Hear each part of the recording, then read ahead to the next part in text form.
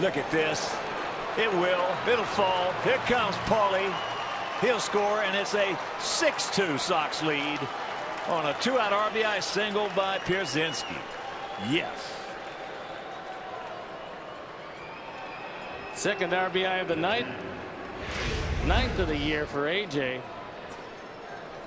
He takes that hook well out of the strike zone in full protection mode off the end of the bat and just drops it right in front of Upton.